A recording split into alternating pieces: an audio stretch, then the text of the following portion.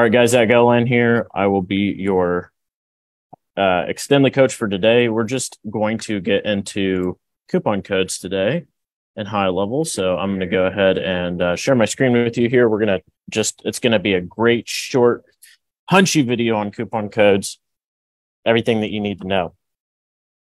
And so this looks like not very much. Now, there is some things to discuss in here, though. We're going to talk about coupon code types and um, the limitation functions of the coupon codes and a couple different ways that you can set up the coupon codes in high level. So um, let me back out of this here and I'm just going to flip over to high level.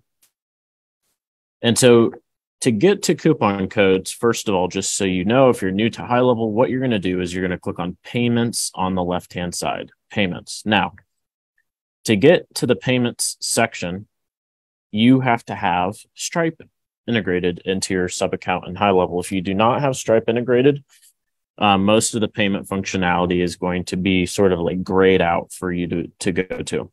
Um, so that's an important mention so that you don't go to, you know, to the payment section. You're like, why can't I see anything? So to integrate Stripe, make sure you go to settings. And then if you go down to integrations and you scroll down, Oh, where'd it go? Where is my Stripe? There it is. So it'll say Stripe account right here.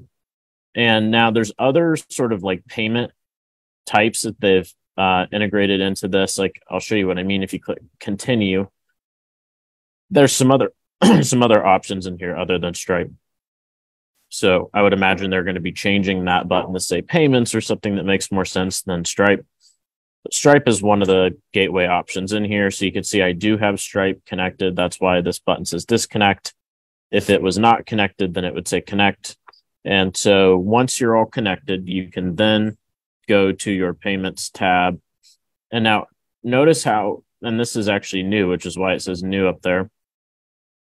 You used to have to go to integrations and settings alone, but they are now putting payment specific integrations in the payments integrations tab up here.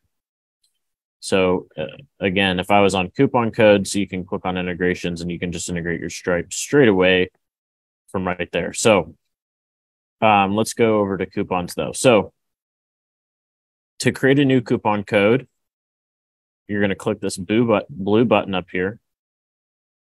And then so we can give the code a name and then you can generate a coupon code. So a lot of times I do, I have a naming convention for this where I kind of dynamically build names based on the type. I would recommend you do something similar so that you don't have like a bunch of different coupon codes with all various different names floating around. So what I mean by that is if you generate a code, this is just going to give you a random code. And then let's say that we select for this one, we'll do fixed coupon instead of percentage, meaning that the price is going to be fixed. So let's just say we're going to give somebody $50 off and we're going to make that available starting today. We're not going to give it a start time or an end time or even an end date in this case. And I'll explain why. Because this coupon code is going to be specific to an individual. So right here where it says limit the total number of times the coupon can be redeemed, right? So if I want this to be like, eh, yeah, you know, Zach called and he needs a coupon code for something, and I just want to make one for Zach, then I would just put one in here. And then this coupon code, I would just message to him directly because this coupon code can only be used one time. Now, technically, could Zach send the coupon code to someone else and let them use it? Yeah, he could do that, right? But that's fine because we're going to give that person just one code that they can use only one time. They can give it to their grandma or they can use it themselves. No problem at all.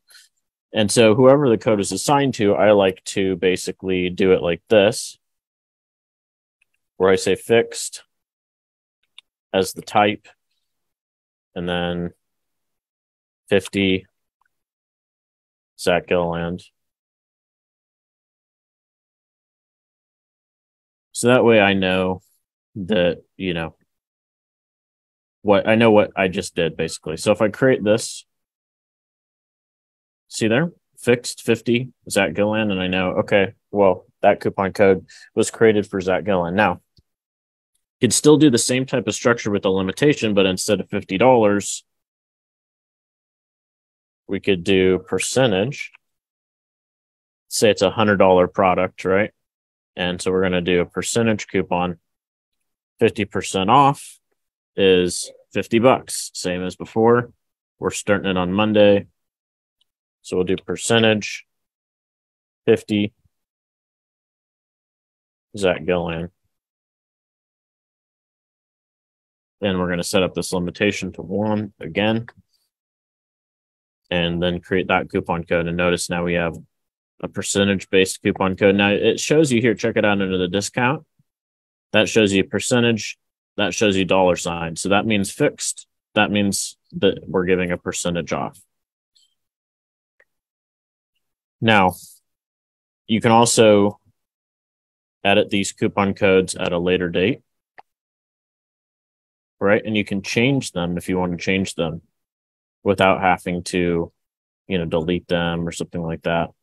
Um, but you can also delete them. Now, it's in active stat- status because it hasn't been used and there's no expiration date. But if it had been used or expired, notice how these are expired because they had a start date. And if we go here to edit, notice how they have start time and end time. Well, that time has since passed, right? So now they say expired, but these are going to be active until they're used. I could do the same thing though, and I could, I could say, you know, I'm going to message Zach. I'm going to tell him that he has 24 hours to use the coupon code, and if he doesn't use it in 24 hours, it's going to expire. So we could just set the end date to the 16th, and we could do the same thing like at uh, instead of 12 a.m., you know, we might want to do like 11:59 p.m. like that. And so that will be active for 24 hours and then it will expire. So no problem there. Now notice how um, when we create a coupon code, there is another limitation option down here. So limit to select products on which the coupon can be applied. Now, I don't have any products in here, and I don't want to create any products because it would actually end my Stripe. But you know what I could do is I could just import one of these. I'll just import the product and the price. So now I have a, a price, you know, option in here. Now, if I go back to coupons and I go to create, and now I select limit to products, I don't know why this is not. I wonder, I might need to refresh.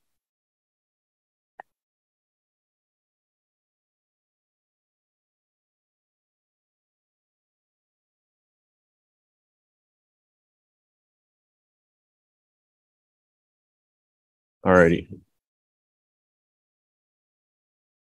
Let's see. No data still. Why is it not showing my product?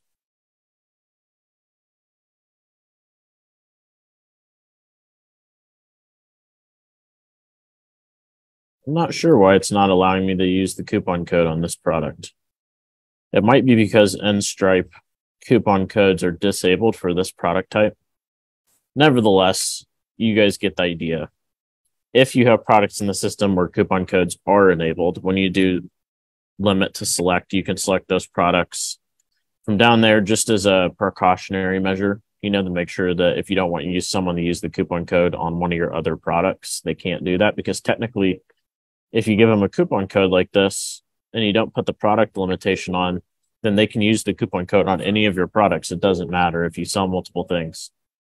And so, you know, um, let's say you have one product that has uh, that costs five thousand dollars, right, and another one that costs hundred dollars. Well, you give them a coupon code for fifty percent off, and they get smart, right, and they try to use it on the thousand or on the five thousand dollar product, and they just save themselves twenty five hundred bucks.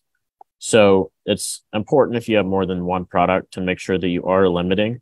Even if you're just sending it to one person, you can do both of these options. You can limit to one person and limit to a product type. Now you don't have to use the one person, you know, uh, option there. You can also offer coupon codes for the first 10 people who do this task or a coupon code for anything that you want. And you can change the limit to 10. You can remove the limit and just say, hey, everybody that purchases during this period of time, you know, it's a Labor Day sale, use the Labor Day, you know, coupon code, in which case, instead of doing a generation, you can just do like, you know, Labor Day 50 or something like that for, you know, um, Labor Day 50% off or something like that, like you see stores do, you know, where they make it kind of like catchy marketing, a little slogan and the coupon code there. So you can do something like that and you can turn off the limitation and run it between start date, and end date, or you can still run it between start date and end date and leave the limitation on. Say, first 100 people that buy on Labor Day between this day, well, this isn't Labor Day, but you get the idea. Between this day and this day, like um, the system will automatically allow that coupon code to be used until the threshold has been hit, and then the coupon code will expire itself and it'll no longer be active. So I think that is all that we need to cover on the coupon codes. Uh, you want to definitely make sure that you get, you know, well acquainted coupon codes because you will most likely need to use them if you aren't using them already. And if you have any questions, feel free to message me in the community, Zach Gilliland, and I'm happy to help you out. Hope you all have a great Monday. Talk to you later. Bye bye. Want to learn Go High Level in a structured format? Check out the GHLacademy.com by Extendly. We guarantee to save you six months of wasted subscription costs for High Level. Just visit the GHLacademy.com.